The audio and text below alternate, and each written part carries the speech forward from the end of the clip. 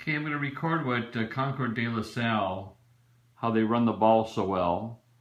It's by their offensive line um,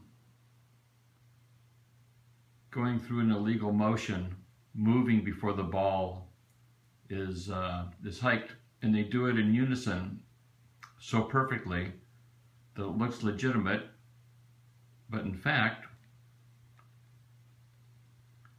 it isn't. So let's watch here.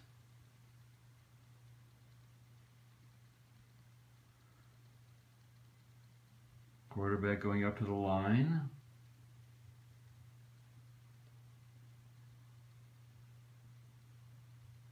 Going under center.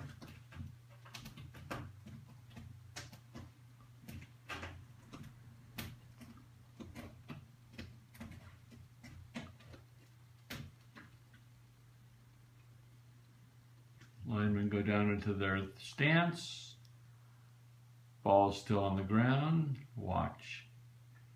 There they go. And the ball has not been snapped yet. And there's the ball snapped.